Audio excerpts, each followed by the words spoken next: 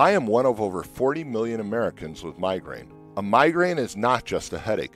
A migraine attack can last for hours or even days, often with sensitivity to lights and sound or nausea and vomiting. Thankfully, there is help for migraine. Learn more at headachemigraine.org. Now is the perfect time to find out if what you have may be migraine. Visit headachemigraine.org, sponsored by the Coalition for Headache and Migraine Patients.